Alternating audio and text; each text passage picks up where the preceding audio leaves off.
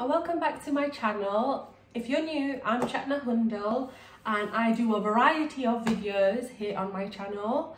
Thank you for tuning in. Today, I am going to be organizing and decluttering my children's playroom, play area and I hope everyone's been okay. I know that a lot of mummies and daddies in the UK have been homeschooling and probably pulling their hair out at the same time. But if you didn't already know, UK has been in lockdown for like what seems ages and ages, but since Christmas. I have a four-year-old, a four and a half year old, and she's in school and I have a almost two-year-old and they are quite a handful and it seems I have my hands more full since I have been homeschooling. So this week we've had half term break, um, so like some vacation time. Before that, before this time, she was studying with me in my office, but I feel like mentally I need a little bit of a sort of divide. So what I've decided to do is bring down her table and sort of her study materials downstairs. So she's got her like play area and study materials all in one area as opposed to things all over the place. And if you didn't already know, I'm a Virgo, I'm a perfectionist. I like things organized. It's just the way I am. And so, again, to be become further organized, I have decided that that will be better for her because kids do learn through play. So I think like having her toys or like her blocks or Legos down here, I need to teach her something, for example, like maths, and I can use like her toys as a resource for play.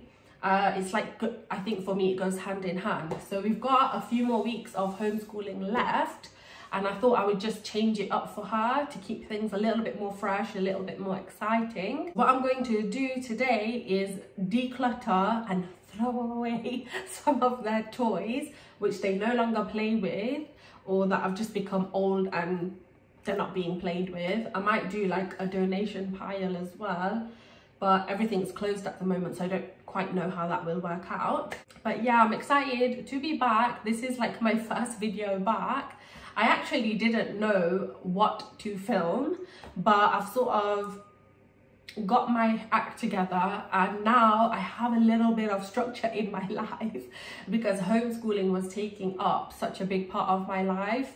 My husband has a restaurant, so we have a family business and restaurant hours are such that he has to work in the evenings. So in the mornings slash afternoon i will be playing with my toddler as well as homeschooling my four-year-old and doing my housework around that.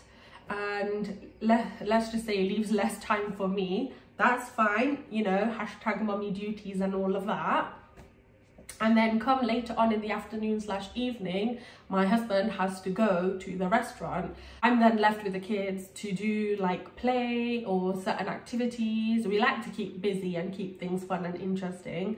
So you know then there's like mommy chores like cooking and the lot and the like you know that i have to deal with afterwards. So I think in order for me to stay sane and organized through this, it will just help me overall mentally. So that's why I've decided to bring all of her stuff in this one area. Now, bless my husband, I was asking for storage boxes. Now, typical man doesn't know that we like pretty things. So like pretty storage boxes. So he brought me two of these large storage boxes. We've, we've just been dumping all the toys in there just to keep the floor space clear. But what I actually use is a lot of Ikea furniture. So like I have the Ikea table there, that was like five pounds. And then I've got this other table here, which was from B&M and they, it came with two chairs. So now my little one and my larger one, they each have a desk or table space to do messy play or some writing on. And then I have the Kallax units, which I'll show you in a moment. You'll see that as I'm tidying and taking stuff out and putting stuff away. But I love these Kallax units. Like I've got a huge Kallax unit in my lounge area, which is like underneath my TV, you know, for just various things, DVDs and whatnot.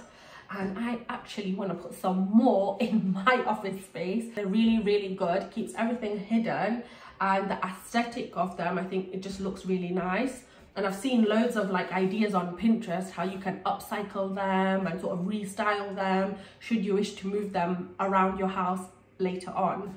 So yeah so I'm gonna try and leave a link to the Kallax units down below if you like the aesthetic of them. And there's various sizes as well so you can always find something to sort of fit your space um, I'll show you as well the various Kallax units that I have as well. I've got three different sized ones downstairs. But yeah, I'm just going to get straight stuck in.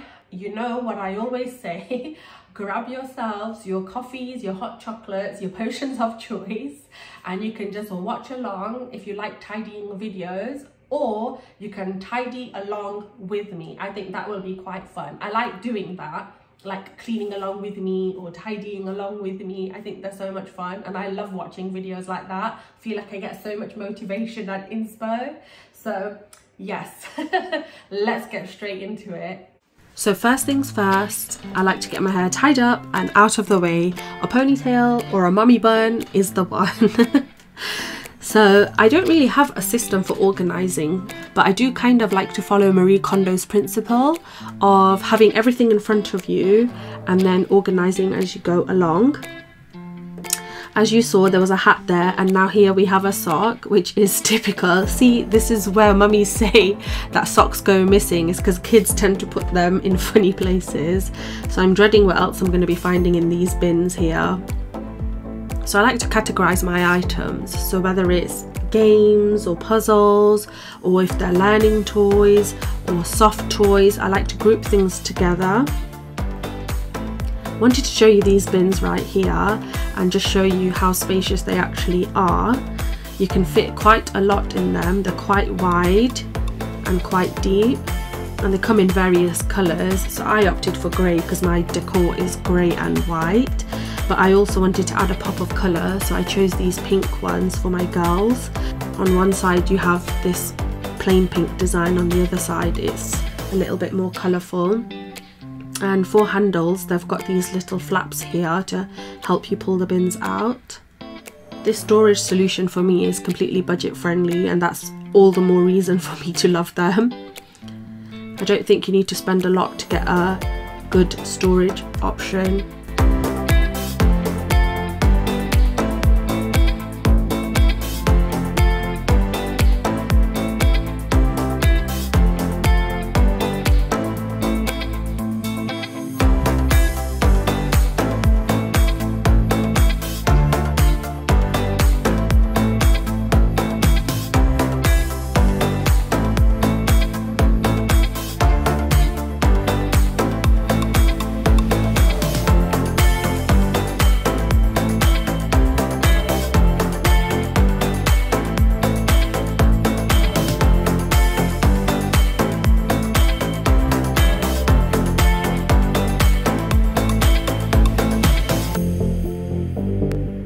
this is like what you call YouTuber life, trying to get a good thumbnail. I mean, it does look really messy even just looking at it now. Oh, makes me feel anxious. well, I just had to put you, I just had to put this in here to show you the realities. And of course I need a sip of water, sustenance, right? It's quite a big project, so I need to stay hydrated throughout it. I don't rely on the kids to tidy up on a big scale. I sort of tell them to put things where they belong, but with all these bins, they do get confused. I mean, they're only going to be two and going to be five, so they're still quite young. I do like to have them have some form of responsibility, but majority of the time I do every now and again have a deep clean and then I also do this where I organise all their toys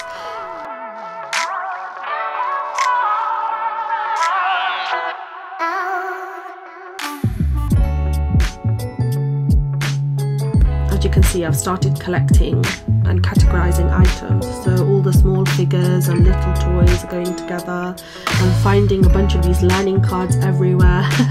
And the soft cuddly toys are being put away in a bin. It's just kind of so I can see more floor space I know exactly what I'm dealing with sometimes looking at that can be overwhelming in itself. So we just want to create a better system of organizing and this will help us just be more productive in the long run I think. It just helps make things easier. It's almost like one less thing to do as well and sort of midway I decided that I wanted to display some toys. So I was getting out some of their pink teddies which they have quite a lot of and just some of their most picked cuddlies. I was just wanting them out. So I thought this will free up some space in the bins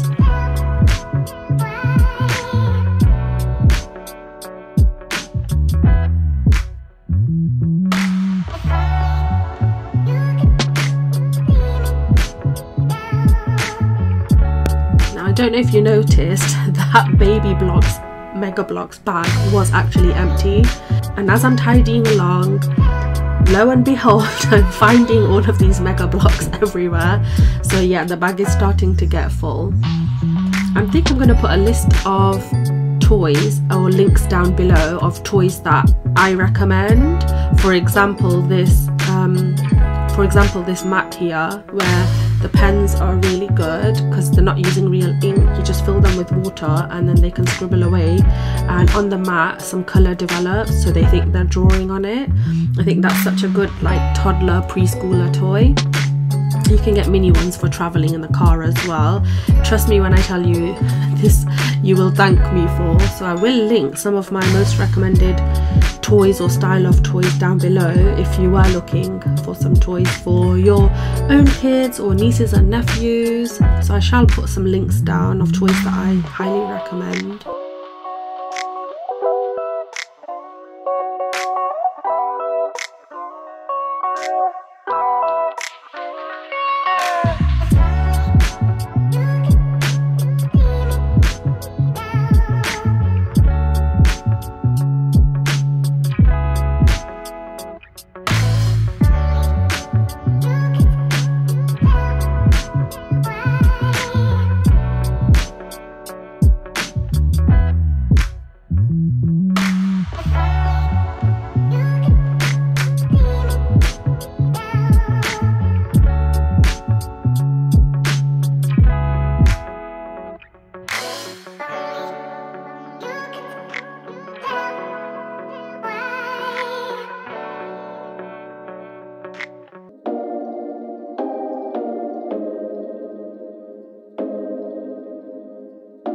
Does anyone else play with their kids' musical toys? I'm having a little mini rave one man party.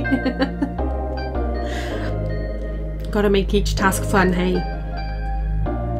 It's all about motivating yourself, people.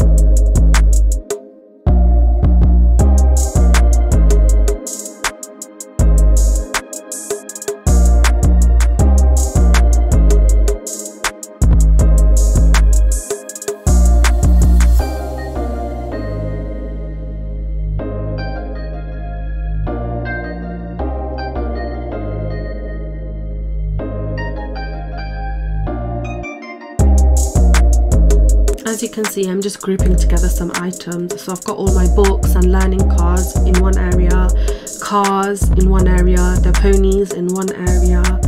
I'm collecting dolls in another pile and the outdoor toys in another area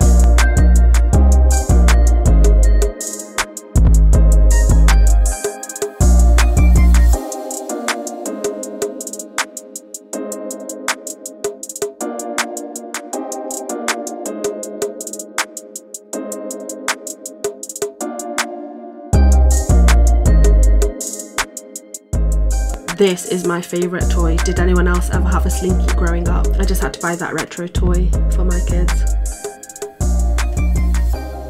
And if any other parent has had a ball pit before, you know how annoying these balls can be. They just seem to be floating around all over the house. So yeah, I'm doing the typical Asian mum thing where I collect things in carrier bags. I'm recycling this carrier bag and using it as storage for these balls. That way they're all in one place and I don't get annoyed with seeing them floating around the house. Also, when they want to play with something like that, they have it all in one area. It's easy for them to find. I think it just makes playtime more fun for the kids as well, is if they choose to play with something, it's all there.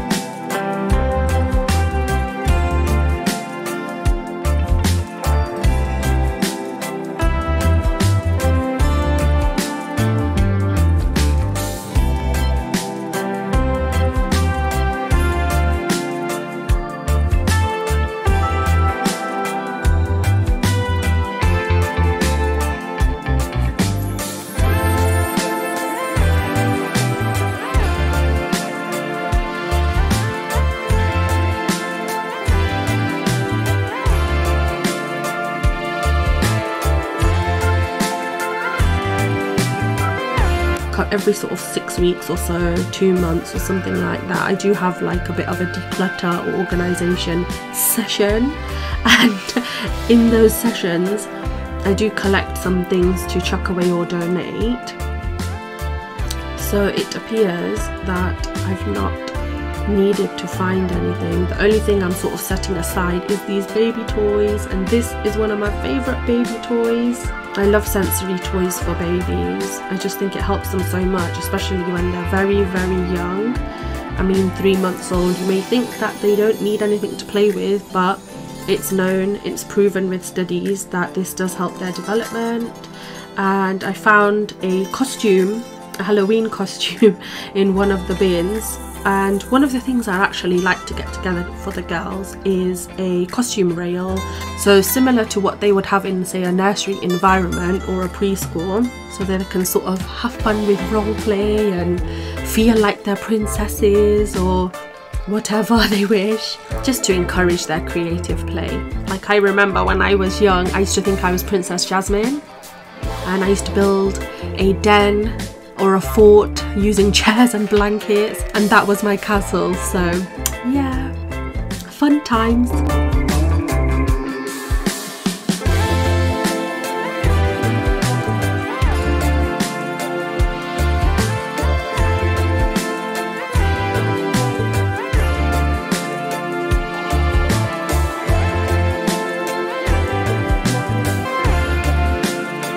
As you can see, I found a wallet here and yes, I was foraging and rummaging to see if I could find any money that my husband may have forgotten in there. But the only thing I found, unfortunately, were just some business cards.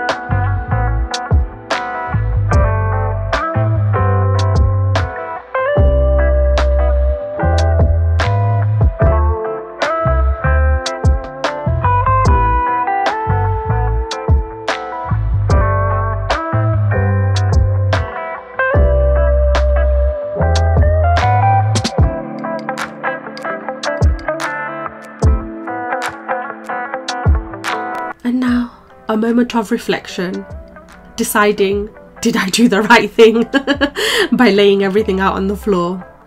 A few moments later, we must crack on. It's pretty normal to have that thought though, to start a project and to think, oh god, am I out of my depth here? Especially with big organizational projects.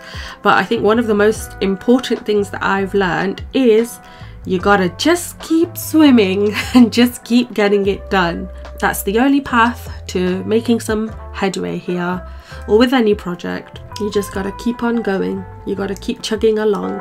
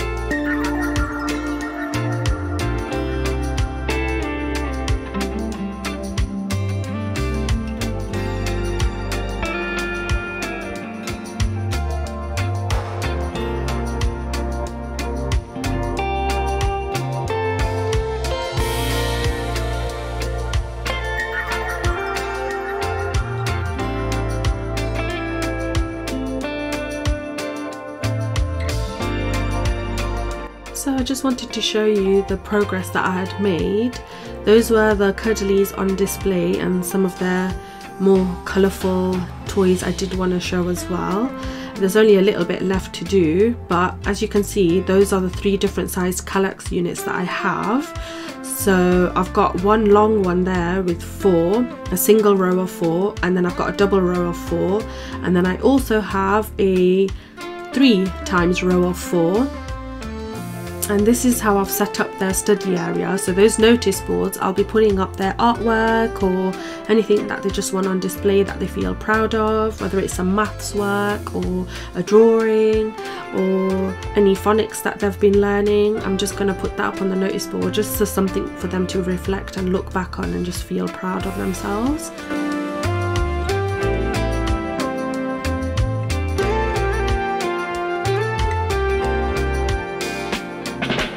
And that's the unit in my lounge area.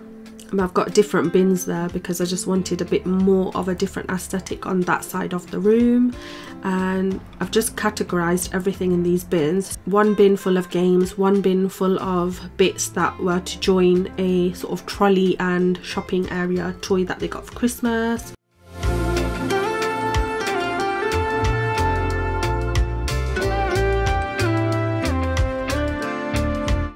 Then I've got all their small figures and cars and little bits and pieces in one bin. Big cuddly toys in one bin. Some learning resources and colouring books and puzzles in another bin.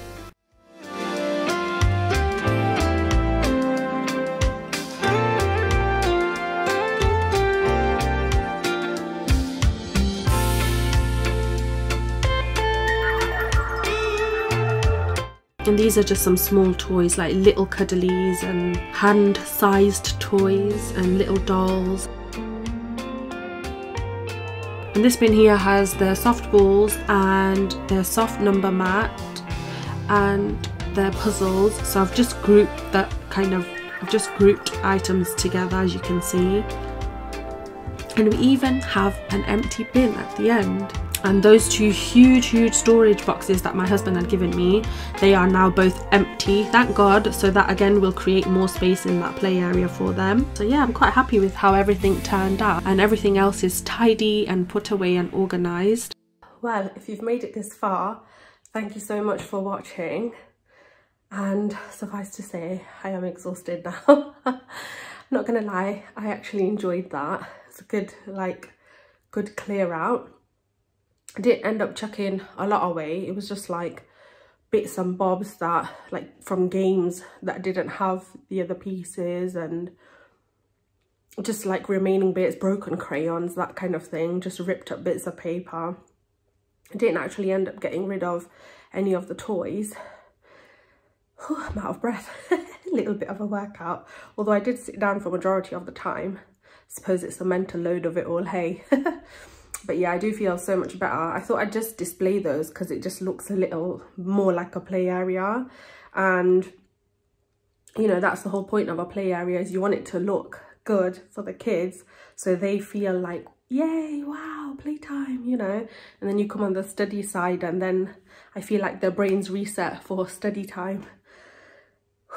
So it's good to have the differentiation between the two normally I don't allow toys upstairs because I feel like, you know, they can get overstimulated or excited and then their brains in kind of like, you know, have they have their playtime cap on when really I want them to have their bedtime cap on. And so as not to confuse them, I kind of like to just separate everything. Just makes life a lot easier for them and me. so yeah, I did a good clear up. And now I'm going to go and enjoy a well-deserved cup of tea. Thank you so much for watching. I have a feeling this may have been a long one. but yes, I thoroughly enjoyed myself. I hope you enjoyed watching it too. If you've made it to the end of the video, if you could leave, hmm, what can we leave? If you could leave me the baby emoji in the comments, that will be so much fun for me. That will let me know that you've made it to the end of the video And a lot of you haven't subscribed to the channel. I just wanted to say that don't be afraid to subscribe. You won't be paying anything. It's completely free to do so. It's just to let you know when a video has gone live and you'll be supporting my channel as well. And if you could give me a thumbs up, that would be great. I love doing organizing. I find it like kind of relaxing. The geek in me is like singing at the top of her lungs when I'm organizing. When you're a busy mom, there's less time to do so but nonetheless, we persevere. Come on, mamas and papas. We've got to get it done. And if you're like me and you find it like a fun project, then all the more reason to do it. Yeah, I'm excited for my next video.